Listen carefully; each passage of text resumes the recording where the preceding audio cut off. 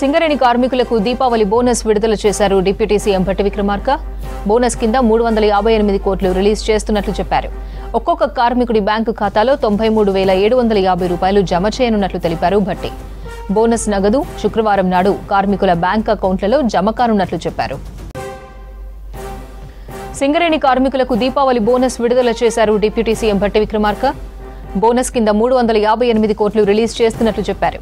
ఒక్కొక్క కార్మికుడి బ్యాంకు ఖాతాలో తొంభై మూడు వేల ఏడు వందల యాభై రూపాయలు జమ చేయనున్నట్లు తెలిపారు భట్టి బోనస్ నగదు శుక్రవారం నాడు కార్మికుల బ్యాంక్ అకౌంట్లలో జమ కానున్నట్లు చెప్పారు.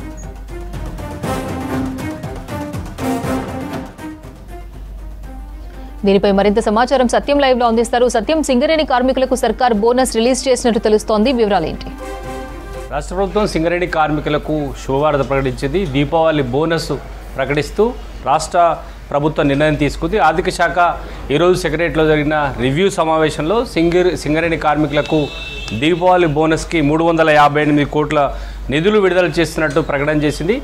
ప్రతి కార్మికునికి తొంభై మూడు వేల ఏడు వందల యాభై ఈ శుక్రవారం రోజు వారి ద- వారి ఖాతాలో జమ చేయడానికి పూర్తి ఏర్పాటు చేసినట్టుగా రాష్ట్ర ప్రభుత్వం ప్రకటన చేసింది. దసరా దసరా పండగ రోజు ముందు సింగరేణి లాభాలను పంపిణీ చేసిన రాష్ట్ర ప్రభుత్వం ఈసారి దీపావళికి సింగరేణి కార్మికులకు బోనస్ ప్రకటన చేసింది.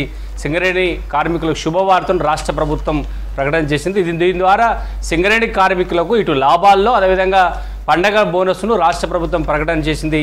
ఇక సింగరేణి లాభాల్లో తీసుకురావడానికి కార్మికులంతా కూడా పనిచేస్తారు కాబట్టి రాష్ట్ర ప్రభుత్వం వారి పక్షాన ఉండడానికి ఇలాంటి నిర్ణయం తీసుకుంది. పండగ సమయంలో బోనస్ ప్రకటన చేసి సింగరేణి కార్మికుల కుటుంబాల్లో పండగ వాతావరణం కల్పించడానికి రాష్ట్ర ప్రభుత్వం ఒక కీలక నిర్ణయం తీసుకుందని చెప్పొచ్చు.